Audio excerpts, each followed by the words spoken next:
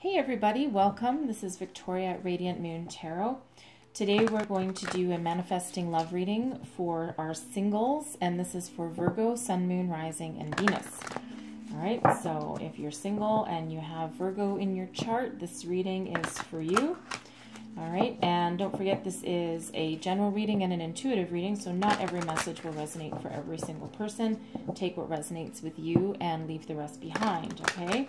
This is also a timeless reading, so whenever you happen to find this video is when you're meant to see it, okay? All right, so what do Virgo, Sun, Moon, Rising, and Venus singles need to know for manifesting love, please? What do we need to know for Virgo, please?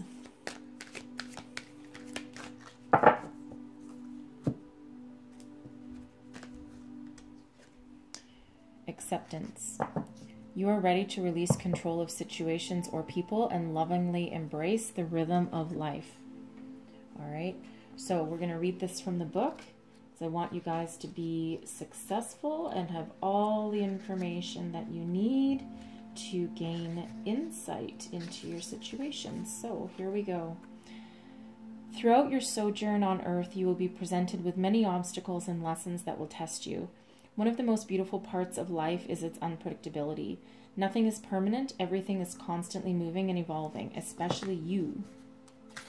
In your life, you can progress faster spiritually by being open to the ebb and flow of events and the twists and turns that your soul companions, the fellow humans on your journey, provide. Now is the time to become aware of this gift and acknowledge that these moments are not stumbling blocks but merely opportunities to grow. Although circumstances may seem difficult and worrisome, if you look at the bigger picture and live for the present moment, you can easily follow the natural course of life. But don't let the mindset of acceptance distract you from your ability to change the situations that hinder your soul's growth. You are always in charge.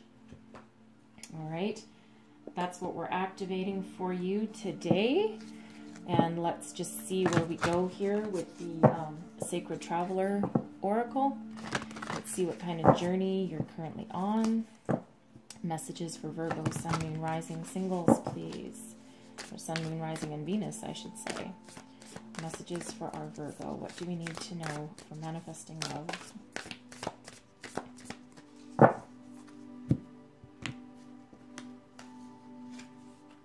View from above. Get the big picture. Okay, get the big picture. Get all your facts um, change your perspective, get a different perspective. Journey by Moonlight, Believe in Magic. Very nice. Very nice. And Finding Sanctuary, opening to your spiritual source. All right. That's beautiful messages for you there, right? Change your perspective, right? Believe that the magical is all around you. The magic is also within you, by the way all right? And you have um, spirit angels, guides, um, uh, sprites, elementals, as they're called, and they're all around you. They're um, they're always help. They're always there to help you. Okay, so um, center.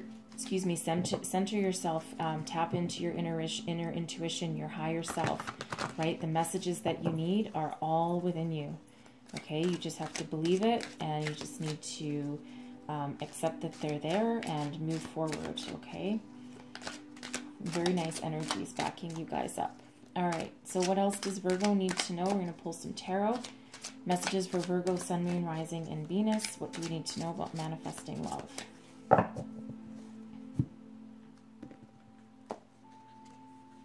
We have the Knight of Cups. The Eight of Cups,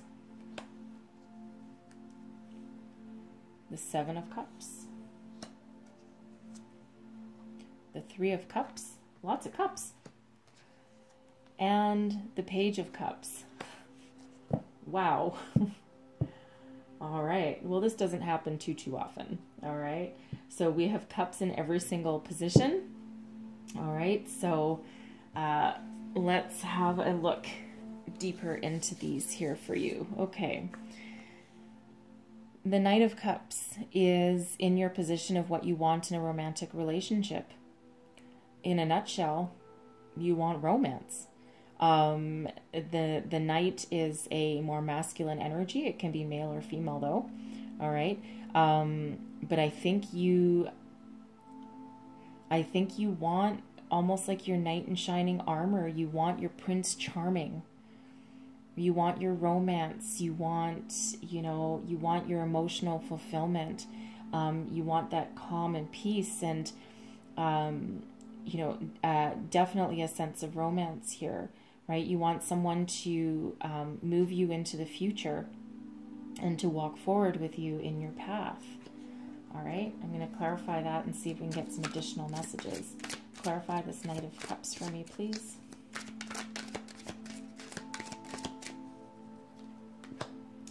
Sun, the Nine of Swords, and the Page of Coins.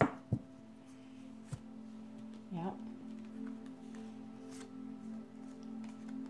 So you want someone that'll fill you with love, joy, happiness. The sun is a major arcana, right? So the sun overshadows any previous uh, anxiety or worries or stagnant energy, right? The sun um, ensures success, um, success of a new beginning, success of um, the page of coins is um, uh, it's about um, the start of something, the start of a home, the start of a career, the start of something financial.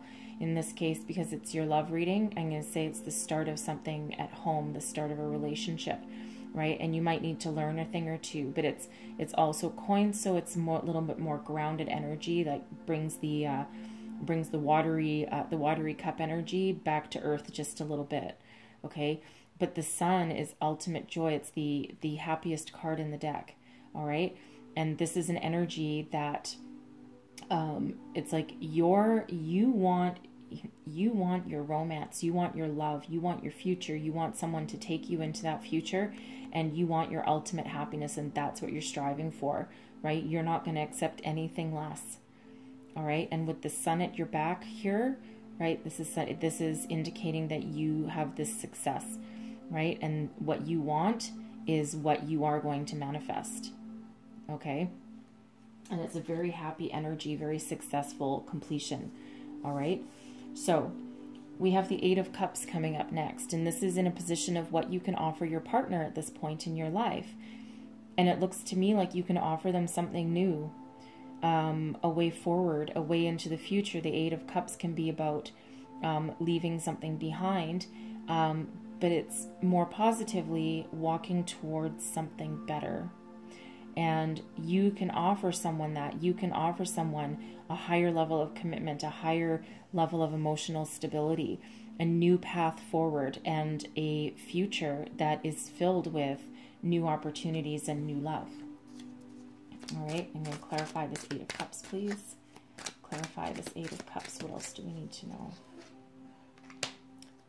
three of swords eight of wands and the two of swords right? So you're you have the ability to bring them out of this energy, both you and them. All right? This energy of sadness, despair, grief, not being able to see your way forward with the two of swords, right?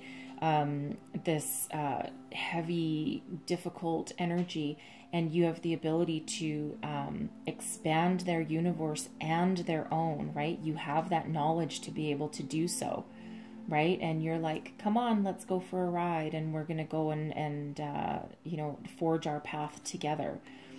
And you're gonna have the ultimate communication to do that. This is fast forward momentum, and you're you're just gonna be like, come on, bud, let's hop in the car, let's go, let's just go on this journey together, okay? Because the Eight of Wands is um, typically very swift action.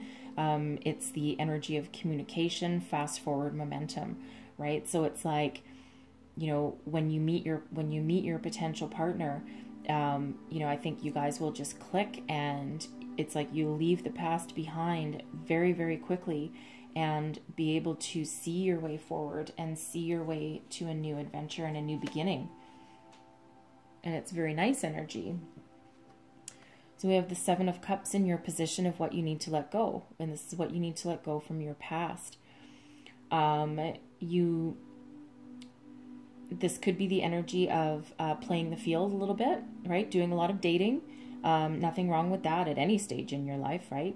Um, but this is saying that perhaps previously you latched onto any person that came that came across your path like this is the one this is the one this is the one instead of taking the time to contemplate and really choose your direction and make your wise choices from the heart. I think some of you may have been so desperate because there's a lot of cups here like a lot of cups okay?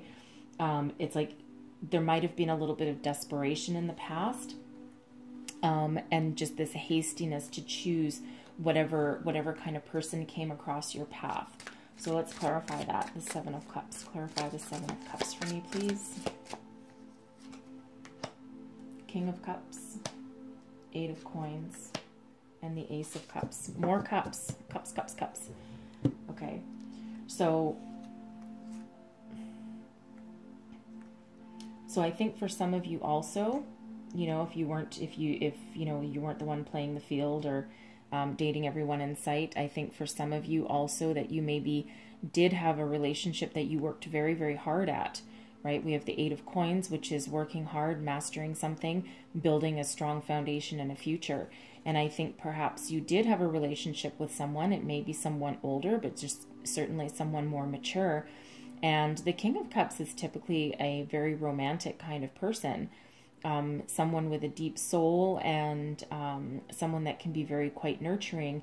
You know the kind of person that you know you you you wouldn't mind go grabbing a beer with and having a nice chat right? And you feel that they're loving and um, and have a good heart. And i think that maybe you did have that connection and you did have that heart but something didn't work out something didn't happen right? You worked hard at it. You might have gone to like marriage counseling or something or you know if you weren't married to this person then you know you tried to repair your relationship and work on it and it just didn't work out because maybe maybe you this person just wasn't right the right one for you but you thought that they were. Okay? You thought that they were. I don't see lies or deception or anything like that here but you might have had an unhealthy addiction to this person as well or at least the idea of this type of relationship, right? You may have had this um, because the Seven of Cups can also be, you know, uh, a, a, card of um, um, excess, right? Being in excess. So it's you. You might have had either. You might have either been really attached to this idea, um, or there might have been just so much mushy gushy, icky, not icky, but mushy gushiness that maybe it just in the end wasn't sustainable and wasn't um, wasn't for the long term. Okay, so however however that's resonating for you here, you did work hard at it and you did everything you could. I feel, um, but it just didn't work out. It just didn't work out for something, and um, so that's what you need to that's kind of it's what you need to let go right? It's what you need to let go. I think you need to you know you you want that knight in shining armor and you want that um, love connection. But i think you have a little bit of a dose of reality now going forward. And you're again just looking for that partner but i think whatever wasn't working for you in the past or that past relationship is affecting you now. So you do need to find that way to heal and that way to move forward. And you do believe, I mean, your optimism, your optimism is incredible, right? Because again, you have the sun, and that's optimism too.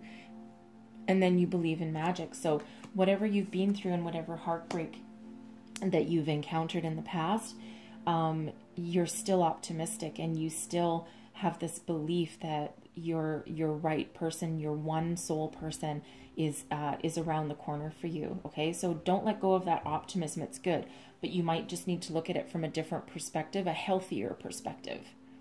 Okay, listen to your inner intuition. Listen to your guidance. All right, so. Uh, we have the Three of Cups, and this is in the position of uh, what your life could potentially look like once you find your real love. And this is celebration, this is joy, this is friends and family, this is um, emotional fulfillment. This is celebration. All right. You could possibly, because we actually have five figures in this card, so this could be um, a blending of families. Okay. This can represent you and your person, and then there might be children involved. So this is either starting a family, growing a family, um, or uh, combining two families together. Maybe the person that you meet will already have children. All right. But either way, however that resonates for you in that scenario, there will be a lot of joy, a lot of abundance, a lot of emotional fulfillment. All right. I'm going to clarify that Three of Cups. Clarify that Three of Cups, please. The Hierophant, marriage, the Wheel of Fortune, good fortune, and putting an end to all those heavy burdens. All right, so this is nice. This is nice. So I think, I think here, I think you're celebrating a marriage with the Hierophant. This is a higher level of commitment, and this quite often does represent marriage, especially the way the cards are coming out here, okay? So this is very nice, powerful energy, very, very loving energy, all right? And I think you're going to have your happy day because that's what you're striving for, that's what you're reaching for, that's what you believe in, and that's what you're manifesting. Okay, so I see you getting married, and I see that your luck has changed. We have the Wheel of Fortune, right? Putting an end to the Ten of Wands. These are two tens right here. All right, so your fortune is changing for the better, for success, for victory, changing for the future, changing going forward. Lady Luck is shining upon you and putting an end to your past burdens. The Ten of Wands, that's an end of a cycle, and that's an end to being carrying the load on your own, doing everything for yourself, um, being overburdened, overworked. This is you being able to move into the future with a nice new beginning, with Lady Luck at your back, with destiny at your back. This is your this is your destiny right here right and this is the this is the how your life is going to look so it's a really beautiful energy right? And the Three of Cups, this can also be collaborative, collaborative energy, right? Working together, building something, building a home, building a family, building something a lot more secure than what you've been used to in the past. Okay, it's really beautiful, powerful energy right here. Okay, very beautiful.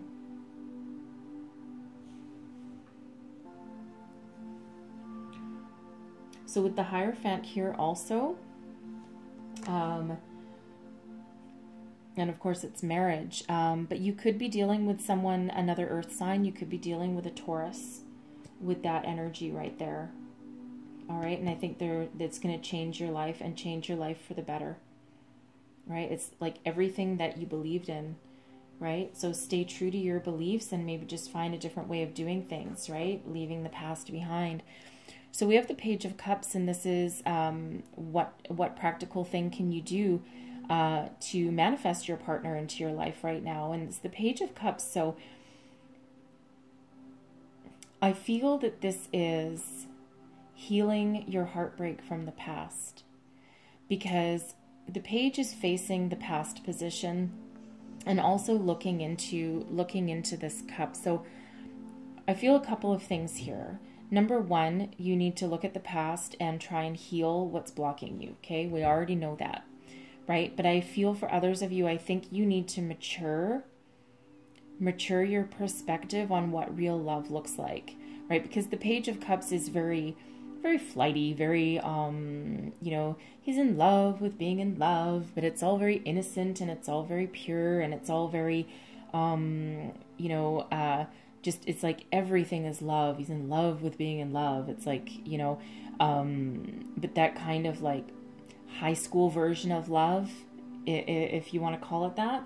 And um you know not not with anything that's you know um ill intent or anything like that but um but a little bit flighty right? A little bit flighty and a little bit immature in that kind of way of thinking. So in this position what you need to do i think is just evolve yourself, heal your past, but evolve yourself into a new, more mature way of thinking about relationships. And that's exactly the direction that you're going in, right? So I think you just need to um, gain this perspective, look at a look at something a little bit differently. And I think that might be you and your your outlook or your expectations and um, just give yourself a little bit of a dose of, of reality and um, do a little bit of maturing yourself okay? And not necessarily maturing age wise right? But maturing on your notion of love and what your love love looks like okay? And i feel like you can do that because there's a lot of really good positive energies healthy energies that are that are playing out here okay um, so i'm going to close out your reading with a heart and soul card. What messages does virgo need to know please?